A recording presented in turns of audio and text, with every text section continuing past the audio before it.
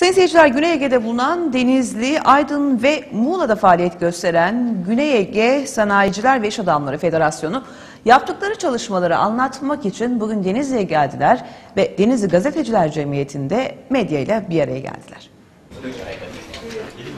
Güney Ege'de bulunan Denizli, Aydın ve Muğla'da faaliyet gösteren, aralarında Denizli Genç İş Adamları Derneği'nin de bulunduğu 5 İş Dünyası örgütü birleşerek Güney Ege Sanayiciler ve İş Adamları Federasyonu'nu 29 Şubat 2012 yılında kurdu. Denizli Gazeteciler Cemiyeti'nde bugün bir araya gelen Güney Ege Sanayiciler ve İş Adamları Federasyonu adına Mehmet Salih Başöz amaçlarını anlattı. Başöz, federasyonun amacı iş adamları arasında sıcak ilişkiler kurmak ve bölge halkına da destek olmaktır diye açıklama yaptı. Bizler GESİFET'in yani Güney Ege Sanayiciler ve İş Adamları Federasyonlarının birer federasyonu olarak karşınızda bulunmaktayız. Federasyonumuz eee, Atatürkçü, laik ve memleketi her yönüyle kalkındırmayı arzulayan, bütün amacı bu olan bir federasyon. Mehmet Salih Başöz'e derneğin çalışanları ve iş adamlarının çalışma sistemleri hakkında bir soru soran gazeteciye cevabı ise şöyle oldu.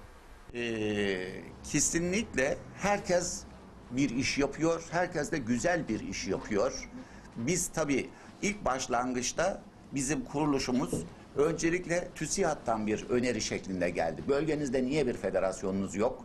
Böyle bir federasyon kurun. Biz size üye olarak katılacağız, e, destekleyeceğiz diyerekten.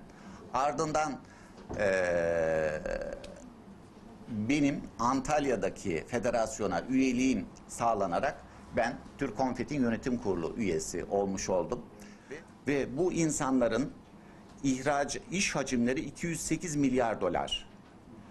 1 milyona aşkın istihdam sağlıyorlar ve direkt ihracatları da 65 milyar dolar. Ve ben Türk Konfet bünyesinde bulunduğumda bu insanların ne kadar memleket sevgisiyle dolu, ne kadar da çalışkan insanlar olduklarını gördüm. O yüzden federasyonu Denizli'de oluşturmakta daha fazla bir enerjim oldu. Mutluyum. Türk Konfet Yönetim Kurulu'na girmiş olmaktan dolayı mutluyum. Ve mesela e, tabii ki e, bir konfederasyon bünyesinde mesela bir Ankara'yı ziyaretiniz çok daha farklı oluyor. Hemen kapılar açılıyor ve biz bakanlarımıza hep şunu söylüyoruz. Efendim diyoruz biz tribünlere oynamayacağız. Biz basın desteğiyle ya da dolaylı yollardan sizin karşınıza problem getirmeyecek, getirmeyeceğiz. Biz direkt olarak problemleri sizle, çözümleriyle birlikte paylaşmak istiyoruz diyoruz. Ve o kadar güzel anlayışlar gördük ki çok yapıcı e, ziyaretlerimiz oldu sayın bakanlarımızla. E, Denizli'nin de Aydın'ın da Muğla'nın da biliyorsunuz ne kadar haklı konumuz olursa olsun iletmekte bir takım iletişim sorunlarımız olabiliyordu. Dolayısıyla Gesifet'te yöremizin bütün sorunlarını direkt birinci ağızdan e, nakletmiş olacaktır.